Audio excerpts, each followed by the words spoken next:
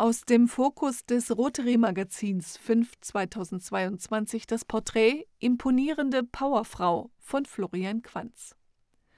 Die ukrainische Logistikunternehmerin Maria Muljawa schickt seit Kriegsbeginn fast täglich Hilfstransporte in ihr Heimatland. Es braucht keine zwei Minuten im Gespräch, um zu spüren, welche Energie diese Frau hat. Befragt man sie nach ihrer derzeitigen Situation, sprudelt es nur so aus ihr heraus. Fragen braucht ihr Gegenüber für längere Zeit keine zu stellen. Sie weiß genau, welche Botschaften ihr wichtig sind und von Interesse für andere sein könnten. Maria Muljawas Gedanken sind bestens sortiert. Dabei gibt es genug Gründe, warum dies gerade anders sein könnte. Ihr Leben hat sich mit einem Schlag verändert. Die ukrainische Rotarierin, seit drei Jahren Mitglied beim RCL Lviv International, ist gerade mit ihrem Ehemann Juri Czernetsky und fünf Freunden im Skiurlaub in Sölden, als sie am 24. Februar nachts um 2 Uhr die Horrornachricht per Anruf aus der Heimat erhält. Krieg in der Ukraine. Die 44-Jährige beratschlagt sich mit ihrem Mann. Sie haben eigentlich noch drei Tage Urlaub gebucht, doch ihr Mann will sofort zurück. Für ihn steht fest, er will nach Lemberg und im Zweifel sein Land verteidigen. Noch am gleichen Tag fahren sie und ihre Freunde ohne Zwischenstopp in die Ukraine zurück. An der Grenze zwischen Polen und der Ukraine trennen sich die Wege. Maria bleibt in Polen, ihr Mann fährt weiter nach Lemberg. Sie nimmt sich keine Zeit für wütende Verzweiflung, kein langes Innehalten. Sie überlegt, wie sie nun effektiv ihrem Volk helfen kann. Sie ist Geschäftsführerin ihres eigenen Transportunternehmens GTL, hat in Stockholm strategische Unternehmensführung studiert, mehr als 7000 Transportfahrten in über 55 Länder der Welt pro Jahr. Die Zahlen ihres Unternehmens können sich sehen lassen.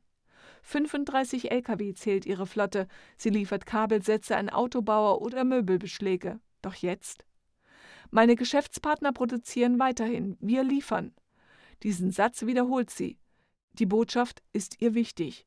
Zu ihren Kunden zählen unter anderem Volkswagen, MAN und Porsche. Allein die Kundennamen verdeutlichen, die Frau versteht ihr Handwerk. Je länger das Gespräch dauert, desto konkreter zeichnet sich das Bild ihres Charakters. Maria Muljawa ist eine starke Persönlichkeit, die nun in Kriegszeiten die passende Strategie entwickelt hat. Da ihre Trucks in Polen angemeldet sind und sie dort in der Stadt Przemyśl nahe der ukrainischen Grenze ein Büro hat, kommt ihr sofort eine Idee. Von dort Hilfsgüter mit ihren Lkw in die Ukraine zu fahren. Allerdings besitzt sie in Polen keinen Umschlagplatz für Waren und somit auch keine Lagerhallen. Das war für mich gar kein Problem. Ich habe einen befreundeten Unternehmer gefragt, ob ich sein Firmengelände als Umschlagplatz nutzen kann. Lagerhallen brauche ich keine. Ich bin so organisiert, dass ein LKW meiner Firma schon bereitsteht, wenn eine neue Hilfslieferung kommt. Wir laden nur um, erklärt Maria Muljawa. Alles eine Frage der Organisation, und darin ist sie ein Profi. Alles andere würde nur ein Durcheinander geben, und Durcheinander kann sie gar nicht leiden. Alles braucht seine Ordnung. Ihr Büro in Lemberg, zweimal die Woche ist sie dort, ist passend dazu minimalistisch eingerichtet. Ein Schreibtisch mit Laptop, ein Konferenztisch und ein Schrank. Serviert wird für die Gäste Kaffee oder Tee, für Freunde holt sie auch schon mal einen Whisky hervor. Dabei trinkt sie selbst lieber Wein, hat sich sogar zur Weinsommelier ausbilden lassen.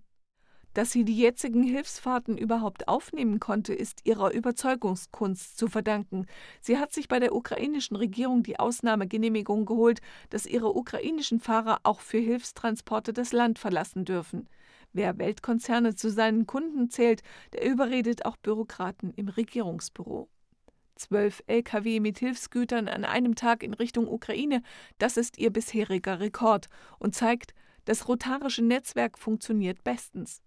Doch Stolz kann man in ihrem Gesicht nicht ablesen. Wir tun einfach das, was unser Land von uns erwarten kann.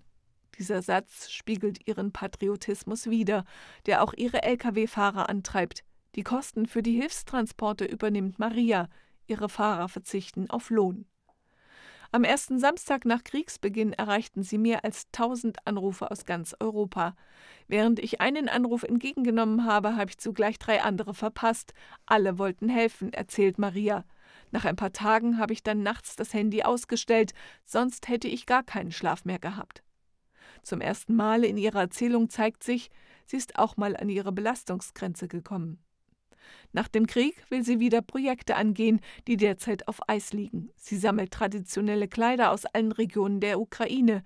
Ich weiß genau, aus welchem Ort welches Kleid stammt. Die Rede ist von rund 500. Maria Muljawa möchte sie in einem eigenen Museum präsentieren. Das ist ihr Traum. Realisierung nach Kriegsende.